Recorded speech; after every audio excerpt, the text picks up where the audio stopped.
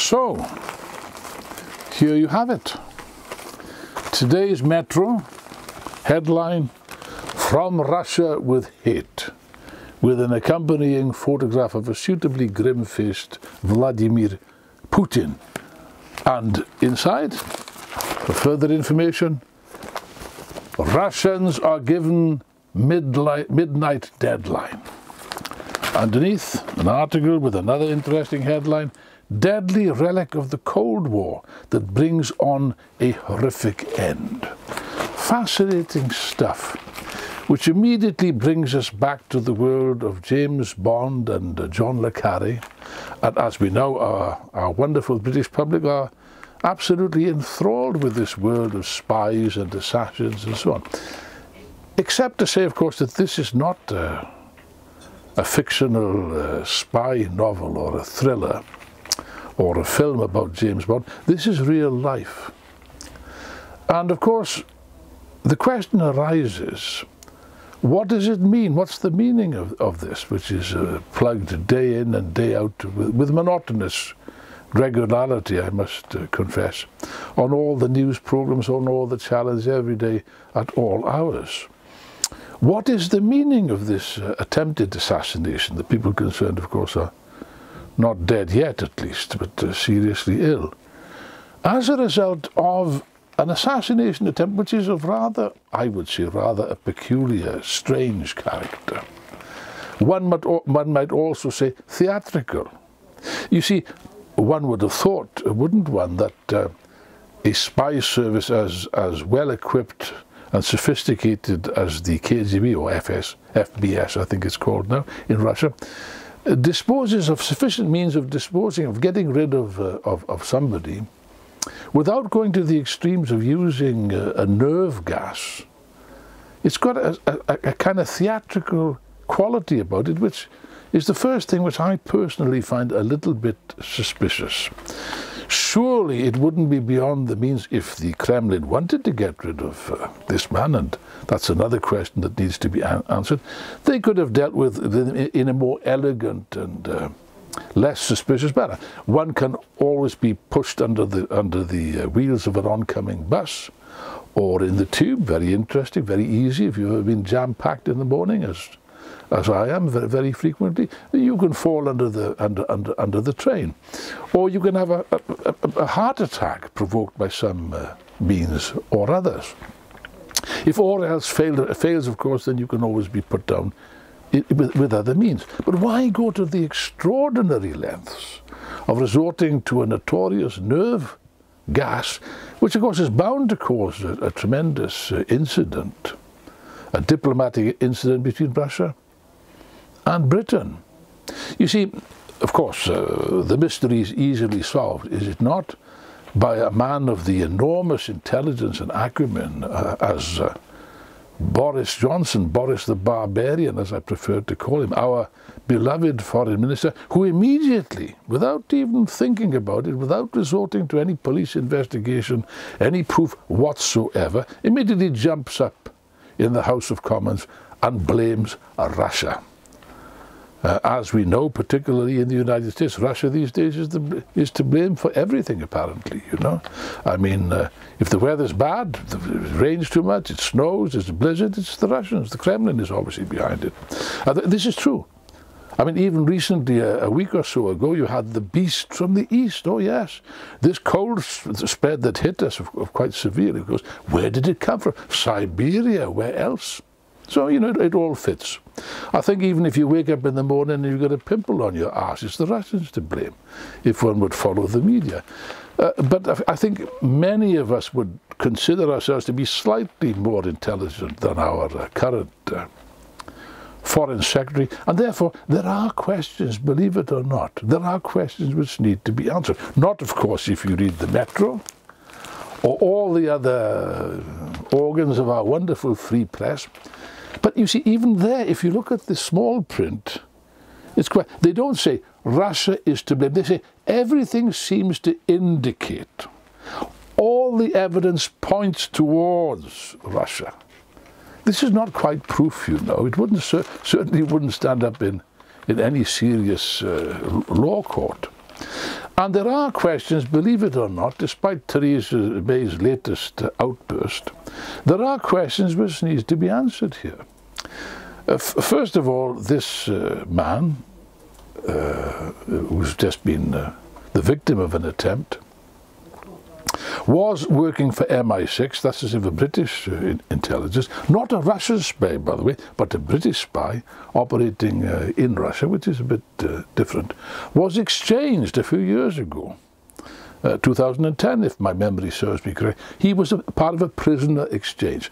Now, you've heard of the expression honor among thieves. Oh yes, it does, it does, does exist. Honor exists among thieves, certain type of offer, of, of honor. It also exists very definitely between intelligence services. And when two intelligence service countries of two different countries exchange prisoners, there is an unwritten or even a written law, for all I know, which says the following, that the people exchanged, the persons exchanged, are under the care of the government for which they work, in, in other words, in this case, the British uh, government, not the Russian government, and that the other government concerned, i.e. Russia, will not touch them. Now, it's important to understand that this is not a question of humanitarian considerations or, or morality of any sort. It's a practical arrangement. You see, if uh, you exchange spies and then one of them is bumped off, then clearly it's not going to work in the future, is it? These exchanges, just the system would break down. This is a powerful argument against Russian involvement in this particular uh, instance. Another question, if Putin was so determined to get rid of this uh, gentleman, he had a perfect, a perfect opportunity when he was imprisoned in Russia. He could have been uh, disposed of quite easily and nobody would, uh, would have asked any questions. Why wait Four years, I think. Why, why wait all this time when he's in prison with his, uh, his family visiting him on a regular basis? It does not make sense. Therefore, there are, uh, at the very least, questions which, which require to be answered in this case. But not for the Conservative Party, not for Boris Johnson, and not, of course, now for Theresa May, who gave a, a speech yesterday which actually is quite uh, embarrassing in its uh, stupidity if one, one reads it. Threatening Russia. You are responsible, you're responsible, you're to, you're, you're to blame without a shred of, of evidence, by the way. There is, there is not. Not one single shred of evidence has so far been produced, other than general accusations, from the sort of people, the usual suspects, who want to provoke an incident between Russia and uh, Great Britain I noticed, incidentally, that immediately this former admiral, I can't remember his name, immediately comes on television, oh yes, we want more, more money. More money, for goodness gracious sake, with, with a fortune which, which has been ploughed into them by the, uh, by the government at the expense of the national health and education and other irrelevant matters. The army, the navy and the air force are being built up. Trident, which is a complete waste of money from any point of view, is being... And of course it, it suits these guys to maintain a sense of constant, yes, Cold War, oh yes, constant sense of tension, the Russians, the Russians, the Russians, in order for their own purposes.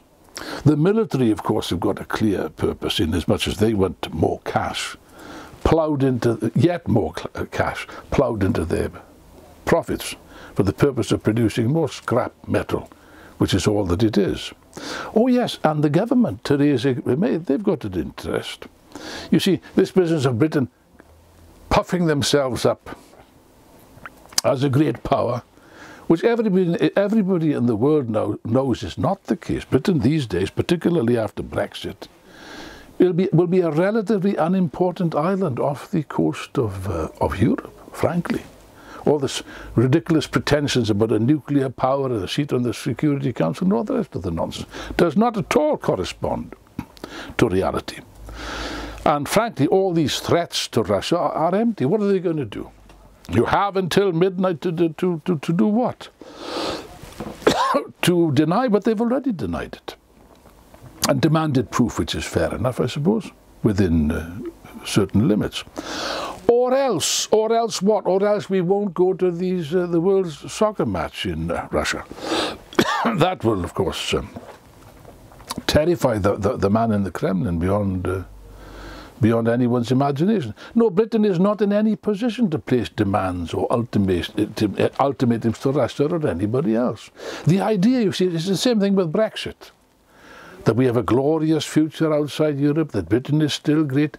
These guys, actually, they live in a, in a world of fantasy. They really do live in a world uh, which ought to be inhabited not by James Bond, but by pixies and, uh, uh, and wizards and, and fairies. There are fairies at the bottom of my garden. There are fairies in the brains of the people that run this country. By the way, one particularly disagreeable incident was quoted here, where Jeremy Corbyn in the House of Commons quite correctly pointed out the, the, the links between the Tory party and, not Russia, but Russians, wealthy, super, super rich Russians living in, uh, uh, uh, as guests of Great Britain, crooks, thieves, who stole billions for, after the collapse of the Soviet Union and have donated millions of that to the Conservative Party for their own purposes. Corbyn pointed this out quite correctly, and of course it was met with a storm of abuse and jeering and, and insults, and also criticism, of course, from his own bench, from the Blairite faction. What's the name of this chap? Can't even read. Chris Leslie, that's right, says the following. There are circumstances that we take party political differences of opinion. But when our country is uh, potentially under attack, potentially under attack, not really, of course. When our country is, is potentially under, un, under attack, this is just not appropriate. That's a stab in the back, as usual, from the, from the Labour right wing, who are no different from the Conservatives, and therefore feel honour bound to, to spring to their defence on this particular uh, occasion. Let's sum up. You know, let's prick this bubble. Patriotism. Do we love our country? Yes, we love our country. I love Wales. I love England also. I love the, British people. I love Britain, its traditions, its history, its culture, and so on. What we do not love what we despise and detest and must fight against are the crooks and the liars and the thieves who are running this country and who form Her Majesty's government at this particular moment in time, not, not too, too long in the future, one would hope. And these people are obsessed with the idea of Britain being a great power, an imperial power, which does not in any sense correspond to the facts of the case. The truth of the matter is that Britain, particularly when they leave uh, Europe, will be even more of a satellite, a servile satellite of the United States of America. And all this fuss about Russia, Russia, Russia is also intended in the main from Boris Johnson and company in order to please the Yanks, to please the Pentagon, to please uh, all these reactionary, counter-revolutionary gangsters, NATO and so on and so forth, that Britain, of course, we're with you the special relationship, the special relationship which is the relationship, let's be blunt about it, between a wealthy man and his butler. The servile bowing and scrapings of a servant, of a butler, is precisely, that's the, that's the special relationship between Britain and America and this latest farce, this latest circus over this incident is just one proof of the same thing. It reminds me of a film, an old film, which I, I liked when I was a kid, by Peter Sellers. You might like to look it up, called The Mouse That Roared. That's just about it. This is a case, yet again, of Britain acting the part of the mouse that roared.